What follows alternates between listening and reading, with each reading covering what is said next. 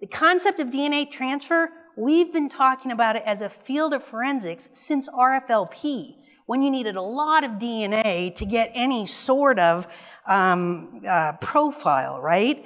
Well, now our technology is so much more sensitive and so much better with the STRs and the YSTRs. You need very little DNA to, to get a profile. And so transfer is a huge issue. Um, it's imperative for, for you to decide in your case What's the reality? You have to look at the amount of DNA that is there, that is in your case, the quantity of DNA, and is that, does that go with the defense hypothesis, my client's hypothesis, what my client is saying to me, or does that go with the prosecution's hypothesis? And I assure you, the crime lab is always going to pick the prosecution hypothesis. So what the American Academy of Forensic Science is saying, let's go with the Bayesian theory. It's a, it's a statistical theory, um, and it's kind of a nice little theory, and this is something that I've used in a couple cases, and it succeeded twice, got denied once, but the jury can understand it. On the right, on the blue side, is the prosecution's hypothesis. The orange side is the um, defense hypothesis. And what of the factual evidence in the case fits where in that chart. So for example, the, the prosecution is saying Mr. Smith digitally penetrated Miss Jones. And we're saying that, look, Miss Smith and Miss Jones live together. They share the same environment. So we, we, the defense considers transfer and living social environment and the prosecution considers, their consideration of their hypothesis is that uh, it, the vagina is a DNA-rich environment to get the DNA from friction and force through digital penetration, leaving skin cells. So if, for example, the prosecution's hypothesis leans towards being correct or valid, or statistically more probable than the, the defense's hypothesis, you would see a high amount of DNA recovered and a good quality DNA profile. You would see matching person of interest. You would see a single source sample being developed, and you'd see a full DNA profile. Maybe a major minor but very, but both profiles are being able to be developed and seen, not partial profiles. That is if the prosecution theory is more probable than not under the Bayesian theorem that, that the prosecution's theory is more correct than what the defense is proposing or hypothesizing. In the defense, it's the opposite. You would look and see there's a low amount of DNA, and it's poor quality DNA. The non-matching or matching doesn't really matter in a transfer case, uh, but it would most likely be a DNA mixture. And then it would also be a partial DNA profile or a complex mixture that may not be able to be completely deconvoluted. If, if, if you can't use that demonstrative, but you'd like to try, call me, I'll get it to you. That demonstrative, just by the way, is taken straight out of the American Academy. So they say, oh, if the expert, the witness from the government says, oh, I, I don't know where you got that. Well, it came from your association. You can use a, if you can't use a demonstrative board or exhibit like that one I showed you, you usually can get it out through using a dry erase board and talking through, you've got the little sheet and talk through all of it and make the, if it actually goes with your, your theory, if it's a high, uh, the defense hypothesis and it, and it goes towards, I wouldn't do it if it's the prosecution one, but, um, but you guys have the law degrees. Um, so you could do that with the expert, go through it, to make the jury understand that it really doesn't make sense if their hypothesis is correct. Why do we have such a low profile? Why do we have a partial profile? Why can't it be deconvoluted? Why is the quant so low? So you can go through it that way. You have to recognize in every single one of these cases, there is a river of reinforcement that begins when the child makes the allegation against whoever it is, talks to the next person, talks to the next person, gets into the forensic interview. We have to just accept that as a bad fact that we have to deal with. And the forensic interview is part of this because that process, we all know because we've seen them, does reinforce what that child says happened. It's not questioned, it's not dissected in a way that quite frankly, we would like allegations to be dissected. um, so the forensic interview is part of this is part of this river of reinforcement, and it can it can either create or reinforce these false, these mistaken, these um, incorrect statements that are made. We were talking about this internally, and we were thinking about it like this, right? in your investigations, in your case investigations, once the forensic interview happens, then it's kind of like in the can, right? It's done. You know, it's the disclosures have been made, the police have done their investigation, the, the forensic interview takes place, and then it's like hermetically sealed in terms of anything else being, you know, relevant to this discussion.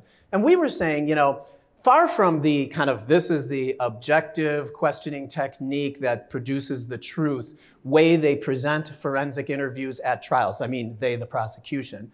What it really is for them is just kind of the, the thing they got to get to get the conviction, right? Once the forensic interview is in the can, we're on our way. And at their seminars, right, I don't think they're talking about the forensic interview process as this truth seeking objective process. I think they're talking about it like the thing that you got to get that helps you get a conviction, right? That this is the thing that they've come up with over the last 30 years since John Yuille invented the, or came up with the stepwise approach. And once we do that and we engage a good CPS um, worker or investigator to engage the forensic interview process, we're done. We're home. We're you know three quarters of the way to guilty. We were doing research, Oppo research on an expert witness once recently, and one of her presentation seminars was how to be convincing in front of a jury, right? That was, and she was a child forensic interviewer, right? And so we crossed her on that a little bit. But they're training on this, not in a way that's about truth seeking, but in a way that's about conviction seeking. So the preliminary questions in a forensic interview that you, you just really every single time, right?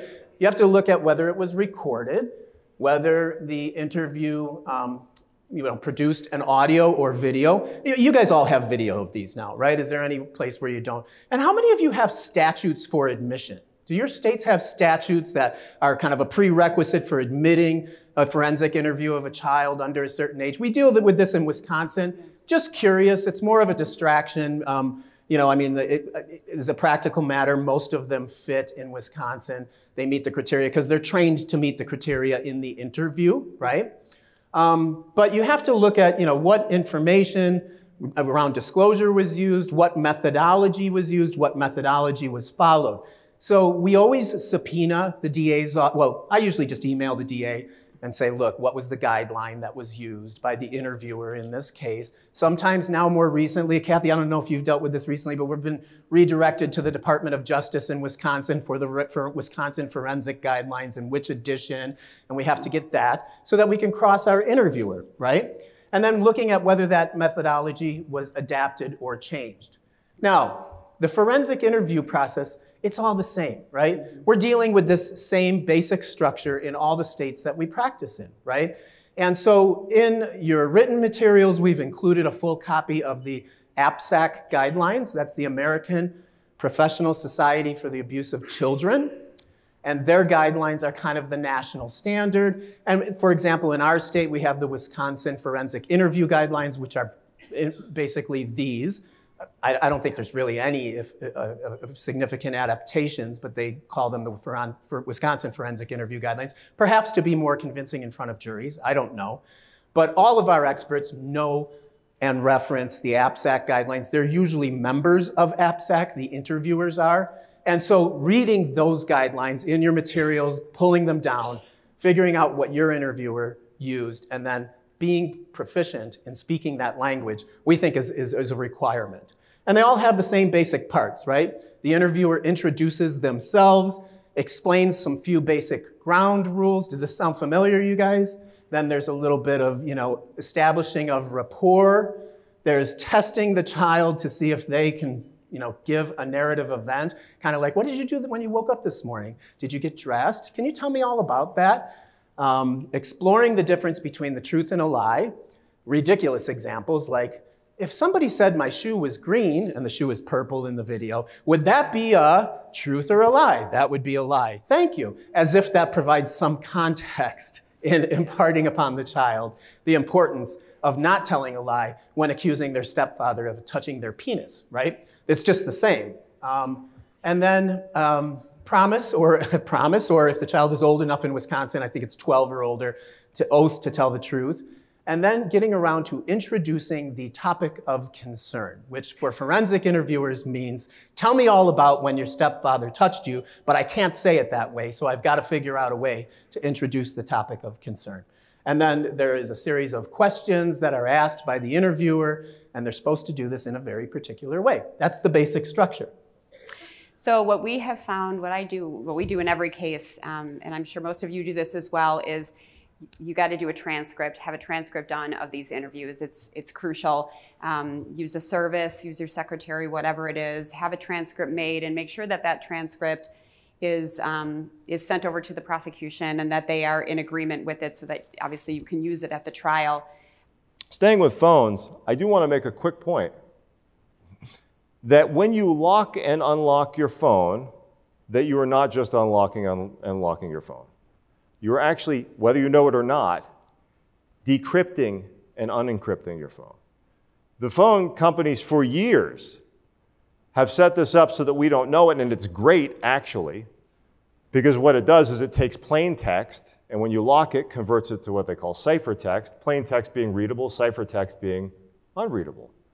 And when, when that happens, and how that happens, I don't know. That's way beyond me. I don't know how they do that, so don't, don't ask me. Okay? But this is important because judges like to say this is like unlocking a box. It's not like unlocking a box. It's like unlocking a box and then translating all of the contents. And that's a distinction for the Fourth Amendment that I, that I just want to I want to raise. Okay, so we're going to talk about staying with phones. What's a Fifth Amendment violation? What do we need? We need it to be compelled. We need it to be testimonial. We need it to be self incriminating because no person shall be compelled in a criminal case to be a witness against himself or herself. So when we look at opening these, these little babies, it falls under a couple of different categories, right?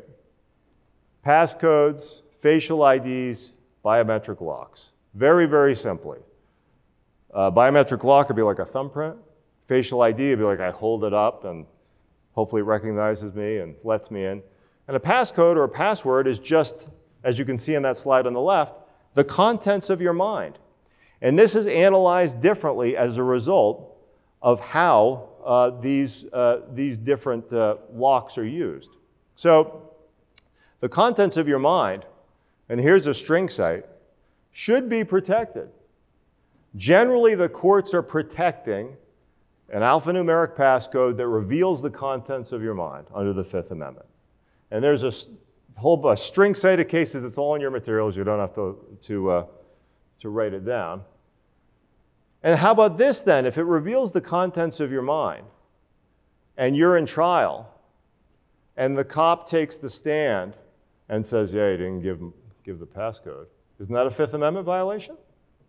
I think it is. Utah thought it was. So you know, just keep that in mind that if these are testimonial and they fall under the Fifth Amendment, then within the meaning of the Fifth Amendment, that there are arguments there even at trial.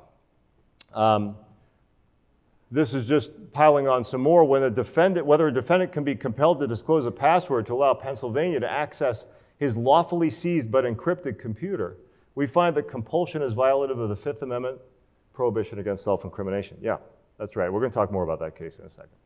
Okay, now, but back on to, let me see, I missed a slide here. Oh, yeah. Also, keep in mind when we're talking about whether or not it's testimonial, that, um, that there, are, is other, there are other arguments to make there. Because it, when, when I unlock my phone for the police, I'm also telling them that I have the ability to control that phone, right? I'm, I'm it is an act of production in itself. And so, as a result, and, and, and as this case says, it's incriminating to effectively concede the existence, possession, control, and authenticity of the potentially incriminating device. Yeah, because they're there saying this thing contains contraband. So if I say, sure, I'm opening it up, I think, sure, it's testimonial. But then we look at facial IDs and biometric locks, and they're a lot less likely to be protected. A lot less likely. The bottom line is if an expert comes to you and says your client is pedophilic, don't see it as the kiss of death. We've actually have a lot of cases where we've been very successful in mitigating at sentencing, even with a pedophilic diagnosis. And what we have found is that a lot of the judges appreciate the honesty and transparency of this is how we've arrived at this decision. And even though the client is pedophilic, let me help you understand what could happen or what we could do with this client. We do things like sexual interest testing. Hopefully, you're a little bit familiar with Abel assessments. Uh, Abel, and then there are also tests called the affinity and the look. They all do the same thing.